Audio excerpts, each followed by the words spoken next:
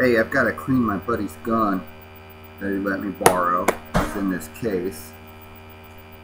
Shooting 22 long rifle ammunition, which is notoriously dirty. And this is the gun right here. This little Walther. We did use both magazines, so we'll pull both of those out. Always want to make sure that we drop the magazine and then open it up visually, physically inspect it, make sure there's nothing in the chamber so it's not going to go off. You know, we're safe to go ahead and, and uh, take this thing apart. Uh, interesting thing about this gun is it does have a magazine disconnect, so even when it is on fire, it will not go until the magazine is inserted. It's kind of a pain in the butt, one of the things I really dislike about it. This little gun comes apart, you have a takedown latch here, and bring it on back, comes apart kind of like a little Makarov's too. And there we go. So we've got it, got it apart now. Got the slide off, guide rod and spring, and uh, and then the main body of the weapon. And uh, this does have the fixed barrel, again, with little Makarovs. Some of the things that I'm going to use to clean, uh, obviously you're going to need a, a rag, uh, some kind of solvent.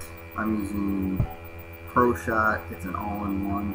I do like this a lot. Uh, for lubrication, I really do like the uh, Slip 2000 EWL, Enhanced Weapons Lube. This is what I use on ARs. Um, this is fantastic. Um, and you're going to need some little brushes. And I've got assortment of brushes. Probably am not going to use the steel brushes, so I'll put that aside. But yeah, brass and the nylon, and really, uh, short of anything really, really heavy, you probably won't need anything except for a nylon brush.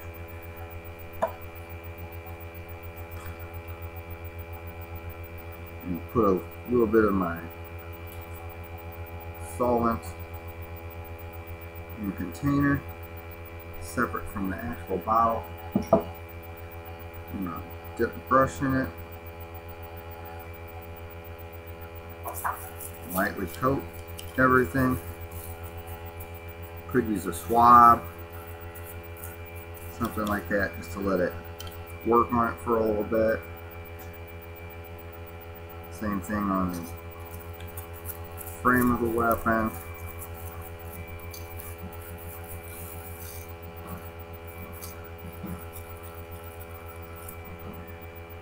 I'll be back in just a second. I am going to get a swab so I can actually do some work on the uh, actual barrel of the weapon. Alright, back with the friendly swabs. I'm going to put some in here. Just go right in front of the chamber. Could use a brush and patches and all that. This stuff works so well. You can see how much of the crud that it took out right away. And I'm going to follow it up with a uh, another cleaning. So I'm going to let this work on all the crud that's in there for right now.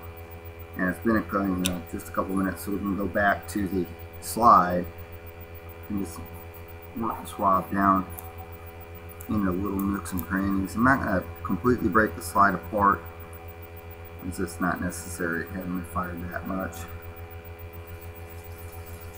I'm just gonna work this on it. You see it's still taking off filing. Take a bristle brush and literally just scrub it.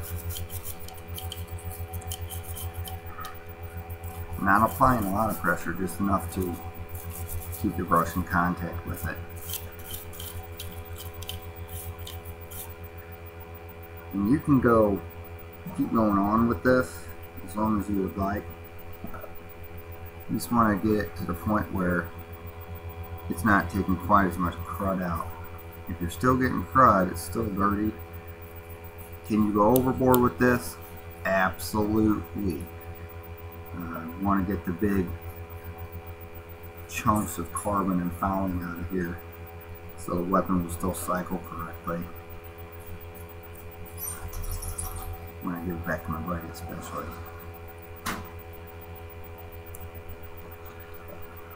Alright.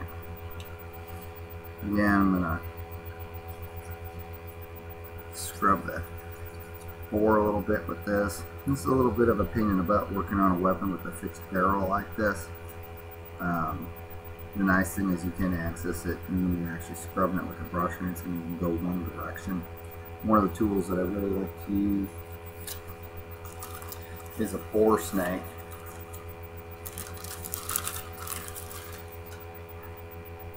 This is for uh, 22 223 and uh, greatest thing since sliced bread. It's got a weight on the end of the string and it even shows what caliber it is. I'm not sure if you can make that out. It's for 22s. Stamped on the side also. Um, let's see, this way. And then you drop that in, bring it down, comes up to the beginning of the snake itself and you put some solvent on this and it has some bristles in it right here another little section of bristle brushes right there and then the rest of the snake I saw something one time said has something like 270 times more surface than just a regular patch it makes it really fast usually one pass two passes is all you need Again, put some of the solvent right there. Take this, just drop the weight down, brings it right through, and then you just start to pull. Hold on to the weapon, make it a little spray from the brushes, and then just pull it through. And now you know, really, really nice clean barrel. And that's just one pass. I'm going to do it a second time. Drop it down in. Grab a hold of it. Get it to where it's lined up a little bit. Get some leverage. Pull it through. Now I'm done with that barrel. That's a nice clean barrel. Alright, now from this point, really all I have to do is take my rag and just kind of wipe it down a little bit. You don't want to leave all kinds of crud all over it. A little residue from this Pro Shot is okay um, because it is also a lubricant protectant as well.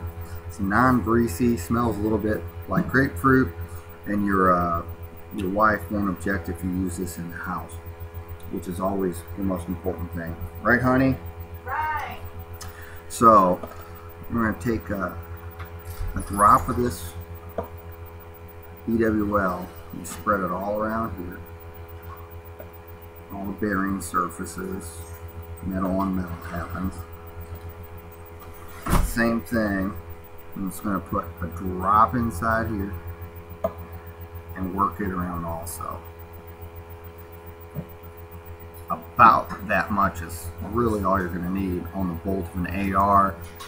You might use three or four or five drops of that stuff. It really does last without gumming stuff up.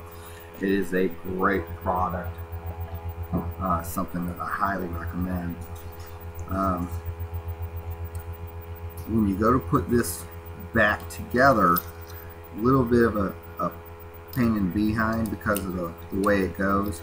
They actually have supplied with this little tool. You get it out here.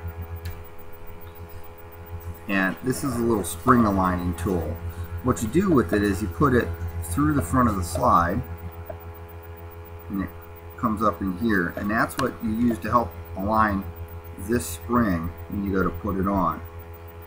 The little Makarovs all those style of guns, when you put them together, you put the spring up through the front and bring it up onto the top as you're going to put it back together, sometimes a real pain in the butt to get that lined up.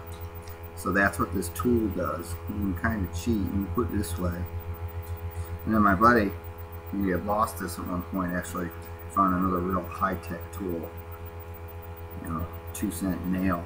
It's a little bit longer, might be a little bit easier to actually use as well. So either way, you just use that to, to line it up with the front of the slide.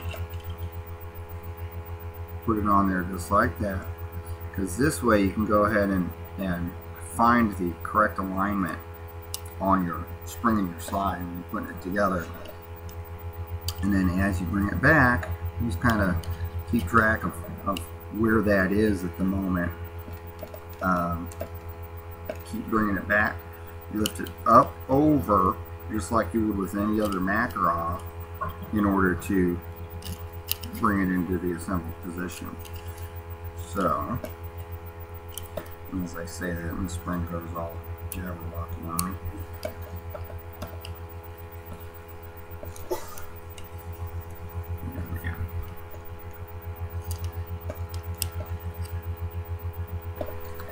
Alright, now, when we go to put this together, we got the spring, we've got the hole where it goes, and here's the guide rod. And the guide rod is very loose in there. So they have a little tool that you put through the hole in the front of the frame, or the front of the slide, and then drop it down through the spring here to align it. And it's just easier, I think, if you have it in this orientation. And then you can actually see where the guide rod is bring it down so it clears both of them then you don't need the tool anymore. Kind of a pain in the butt that is how it is. Make sure that the locking block is way down pull it way back shove down it should go right onto the frame and then push up the locking block here. Cycle it when it's on safe, it has a little locking block back here, a little locking or blocking mechanism so it blocks the firing pin. So even though once we put the mag in, it will go, it actually won't hit the firing pin. You can actually see when I move it to the firing position, the hammer moves just a little bit, especially if I Back it back, there you go. You can actually see how it moves. So here, even though it'll go, it's not actually contacting the firing pin right there in that notch. See? It's completely blocked off of that. And then once we do this, you can see it'll actually come all the way forward versus here, there you saw it move back. So it's not going to hit it.